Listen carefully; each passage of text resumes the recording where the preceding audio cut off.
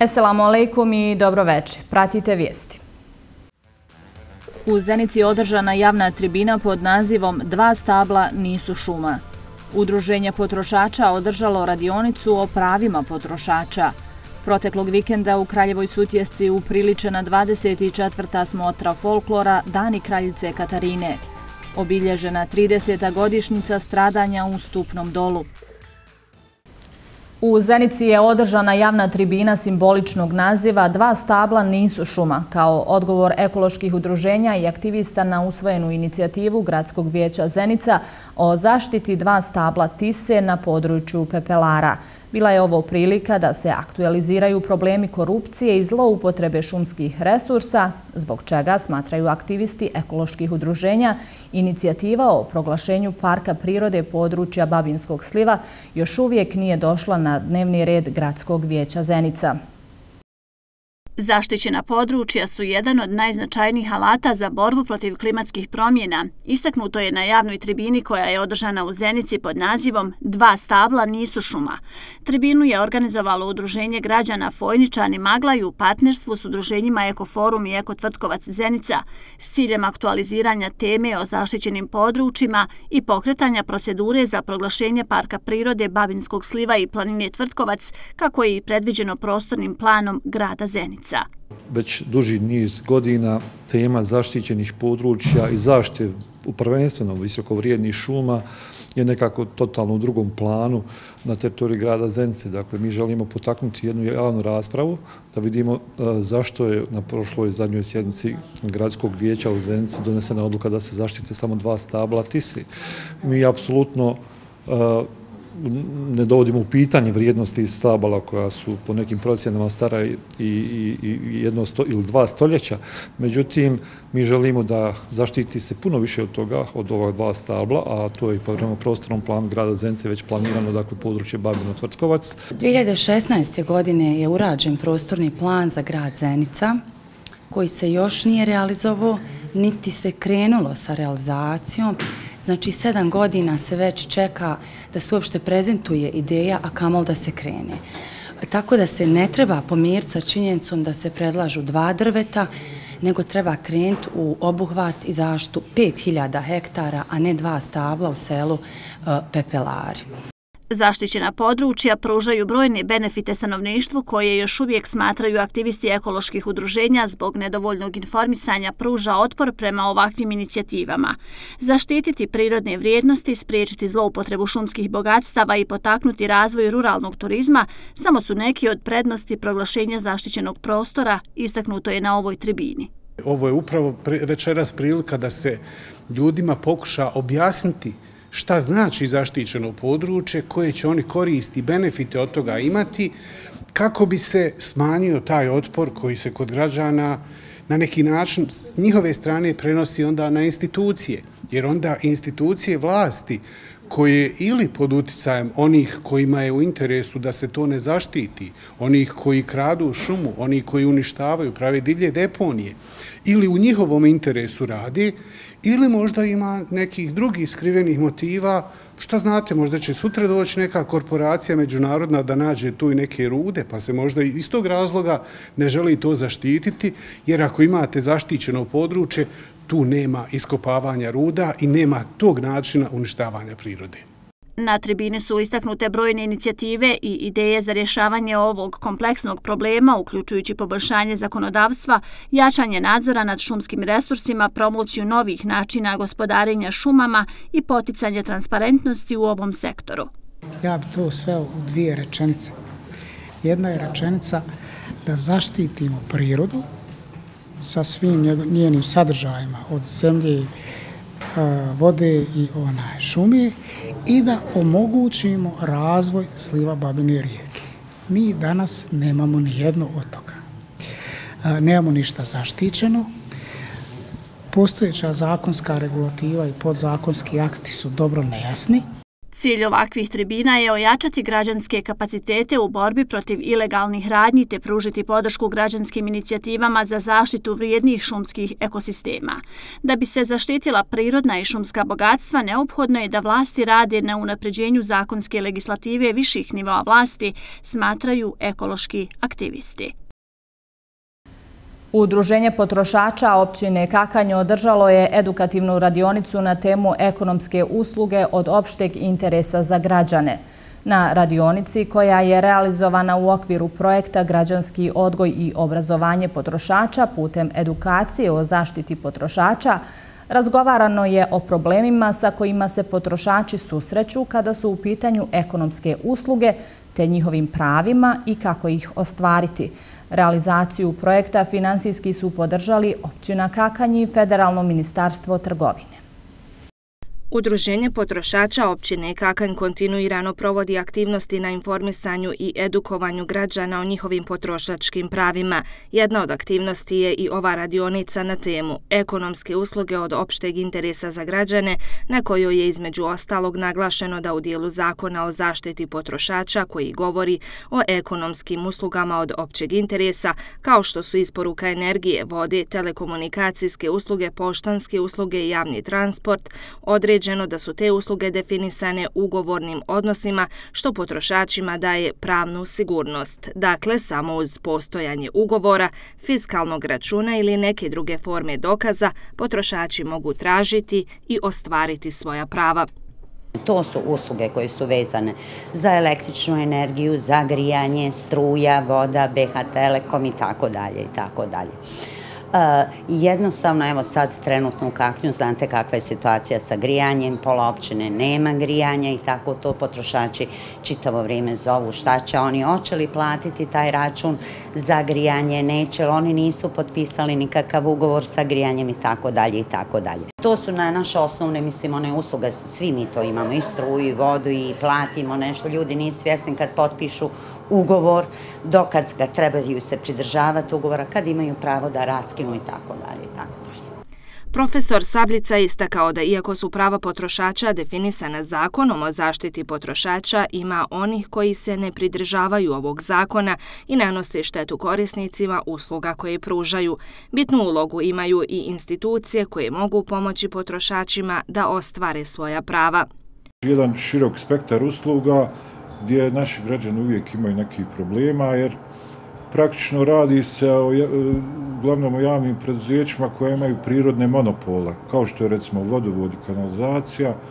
To su ti prirodni monopoli koji nekad zloupotrebljavaju taj svoj položaj na tržištu na, na štetu potrošača, tako da ćemo danas probati učesnicima radionice ukazati na one mehanizme koji ma bi mogli oni ostvariti e, svoja prava na neke institucije koje su nam značajne, o kojima javnost malo zna, kao što su ombudsmena za zaštitu potrošača i konkurencijsko vijeće Bosne i Hercegovine. Statistički podaci pokazuju da veliki broj građana ne poznaje svoja prava, iako danas ima mnogo načina za pristup istim. Po nekim podacima koji sam našao, 80 do 90% domaćinstava ima internet, na internetu sve imate, mnogo korisnih informacija koje samo treba naći, pročitati, proučiti, naučiti, kako bi se znali ponašati ovim tržišnim transakcijama. Radionica je bila prilika da građani Kaknja saznaju nešto više o svojim pravima i problemima sa kojima se susreću kada su u pitanju ekonomske usluge od opšteg interesa i da reklamirati uslugu ili neki proizvod ne bi trebao biti nepoznat pojam. Migrantska kriza je i dalje na vrhu liste izazova kako u Bosni i Hercegovini, tako i u regiji i Evropi. Poručeno je sa današnje tematske sjednice Sigurnosni izazovi u Federaciji Bosne i Hercegovine, koju je organizovala Komisija za sigurnost predstavničkog doma Parlamenta Federacije Bosne i Hercegovine uz saradnju i podršku Međunarodnog republikanskog instituta u Bosni i Hercegovini. Dragan Mioković, predsjednik Komisije za sigurnost predstavničkog doma Parlamenta Federacije Bosne i Hercegovine, podsjetio je da je tema današnje konferencije Sigurnosni izazovi u Federaciji Bosne i Hercegovine sa akcentom na djelovanje ekstremističkih desničarskih grupa u Bosni i Hercegovini. Komisija za sigurnost predstavničkog doma između ostalog po svojoj nadležnosti ima praćenje rada federalne uprave policije. Uh, u tom kontekstu mi periodično dobijamo izvještaje ne samo federalne uprave, nego iz svih kantona na području Federacije Bosne i Hercegovine. Na osnovu ovih pokazatelja uh, ja mogu reći da je stanje sigurnosti u Federaciji Bosne i Hercegovine zadovoljavajuće. Ono je zadovoljavajuće. S druge strane, uh, percepcija stanja sigurnosti u očima građana Federacije Bosne i Hercegovine nije takva, odnosno značajno je lošija od onoga kako to pokazuju objektivni pokazatelj. I to je svakako nešto o čemu i politika, tu mislim na prije svega na, na, na predstavnički dom i dom naroda naravno, ali i policijske agencije u federaciji na tome trebaju poraditi jer a, takva percepcija e, doprinosi e, pogoršanju stanja sigurnosti na ovom području. Naš institut već duži niz godina radi na problematici sigurnosnih izazova kako u Bosni i Hercegovini, tako i u regionu. Pored BH mi radimo i ostali pet zemalja Zapadnog Balkana.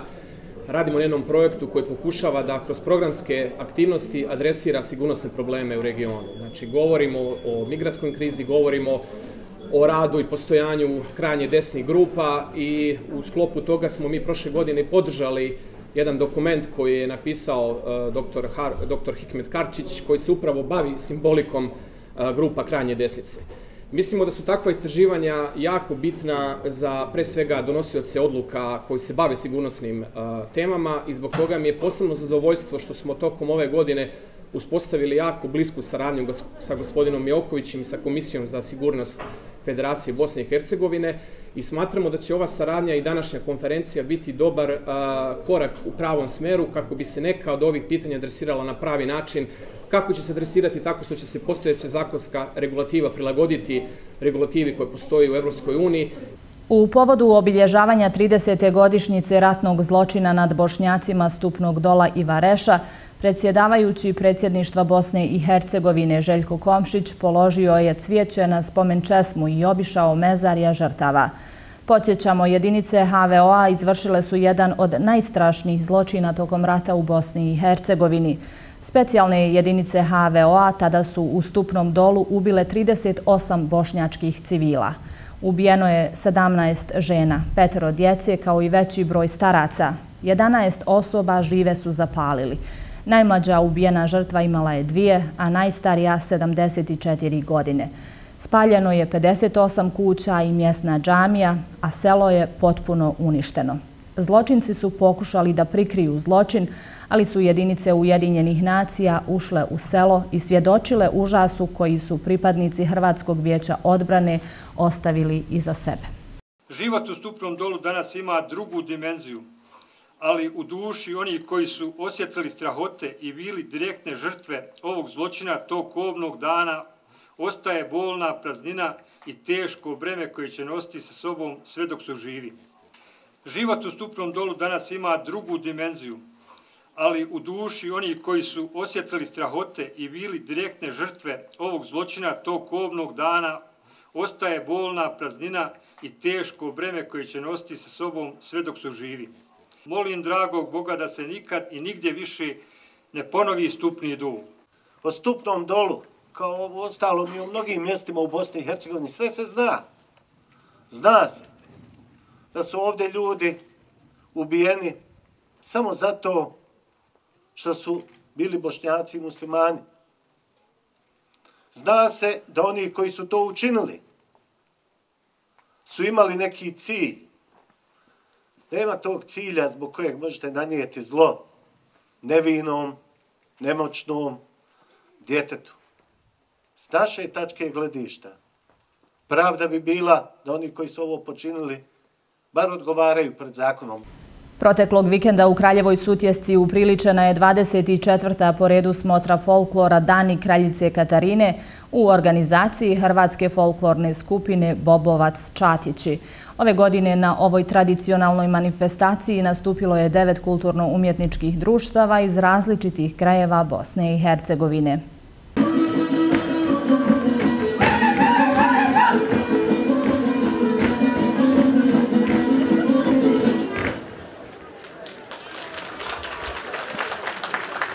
Kako bi sačuvali tradiciju i običaje Sutješkog kraja, Hrvatska kulturna skupina Bobovac Čatići i ove je godine organizovala smotru folklora Dani kraljice Katarine. Ova manifestacija se održava više od 20 godina i već odavno je premašila lokalne okvire. Borimo se već 24. godinu da se nastavi u komunitetu ovaj rad e, što je prepoznatljiv jako daleko. Znači, i, i puno znači za cijelu Bosnu i Hercegovinu, e, pogotovo za naš grad Kakanj i, i, i mjesto Kraljevo Sutjesko. To svake godine je teško. Znači, moramo, mora malo biti i, i iskreni koliko ću imati slobode da kažem da se ovakve manifestacije jako slabo ovaj podržavaju od onih koji bi, koji bi mogli i, i koji bi htjeli. Evo, mi dajemo od sebe što se tiče našeg grada, e, žrtvovanja, znači, ali financijski dio znači, je neizbježan i on mora biti znači, koliko toliko prisutan o, za ovakve prigode. Na ovogodišnjoj smotri folklora nastupila su kulturno-umjetnička društva iz Kaknja, Žepča, Sarajeva, Tarčina, Kiseljaka, Bijeljine i Jajca. Učesnici su posjetiocima predstavili tradicionalne i kulturne vrijednosti krajeva iz kojih su došli. Kulturno-umjetničko društvo Fadil Dogdibegović Dikan publici se predstavilo igrama iz Sarajeva. Smo se igrama iz eh, Sarajeva i ovo je naš eh, prvi nastup s ovom grupom ove godine na, eh, na ovom, ovom području. Međutim, imali smo i ranije nastup, ali ovo nam je nova grupa, nova postava i novi član. Na ovogodišnjoj manifestaciji Dani Kraljice Katarine prisustvovali su posjetioci iz različitih gradova Bosne i Hercegovine, ali i inostranstva. Meni je svugdje super, gdje god ima ljudi, Ma blata, kamenja, granja, trnja, liša, to je sve za ljude. A vidiš ruku moju i tvoju da su ista koža. A nema to, sad je Bela junišo, a pa se malo memo ilaze. A ja to ne volim. Danas, ovo, tako, eto ovako, od brigode do brigode uđem ovako malo posmjeran, družim se, onako u nekim neformalnim prigodama i to je to. A da se inače neđe zvančno, ovaj, učanje nisam, već to je toliko.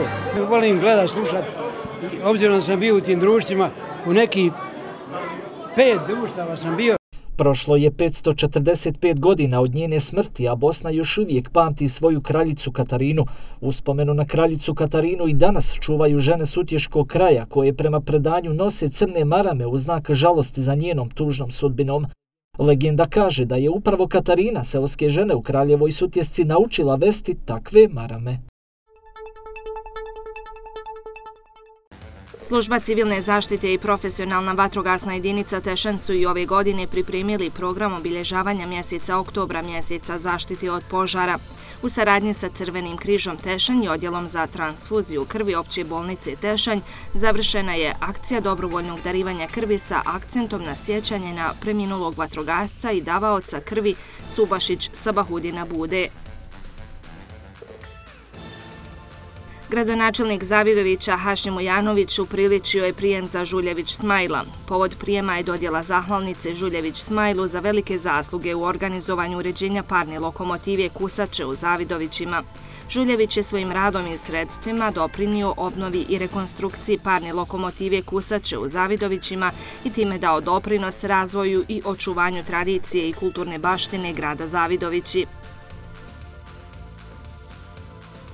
U Ministarstvu za obrazovanje, nauku, kulturu i sport Zeničko-Dobojskog kantona potpisan je ugovor o podršci u iznosu od 250.000 konvertibilnih maraka za završetak gradnje školske sportske dvorane u Žabljaku. U toku je primopredaja radova pete faze na dvorani, a kroz nekoliko narednih dana očekuje se potpisivanje ugovora u vrijednosti od 200.000 konvertibilnih maraka za šestu fazu radova. U ovoj fazi su radovi grijanja, ventiliranja, dio sportske opreme kao i manji unutarnji građevinski i instalirski radovi. Dok budu trajali radovi na izvođenju ove šeste faze, općina će raspisati natječaj za sedmu fazu, čija će glavnina biti izrada sportskog poda i fasada.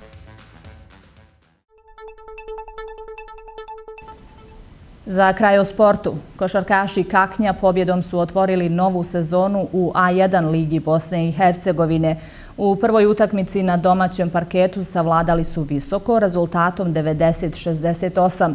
Na polu vremenu je bilo 43-40, ali u drugom dijelu utakmice razigrao se domaći tim. Prednost je rasla iz minute u minutu do konačnog rezultata. Najefikasniji u pobjedničkom timu bio je Aldin Muflizović sa 19 poena, dok je u ekipi visoko najviše pokazao Imran Fazlić. Meč je završio sa 15 poena.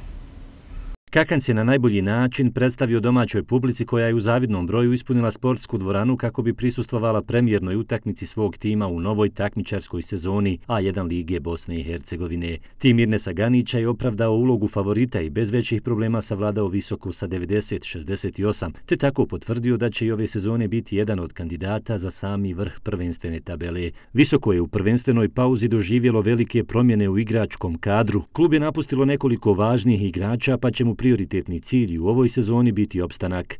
Protiv Kaknja su gostujući košarkaši odigrali dosta dobro prvo poluvrijeme, držali su rezultatski priključak i na odmor otišli sa tri pojena za ostatka. Bilo je 43-40. Prva četvrtina je pripala Kaknju, 28-22, a druga gostima iz Visokog, 15-18. Nastavak utakmice donosi dosta bolju igru Kaknja koji već nakon dvije minute igre uspjeva da se rezultatski odlijepi i napravi veliki korak ka pobjedi.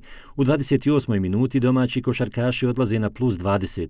Bilo je 66-46. Do kraja četvrtine visoko preko Imrana Fazlića i Darka Rističevića uspjeva da smanji na 66 52.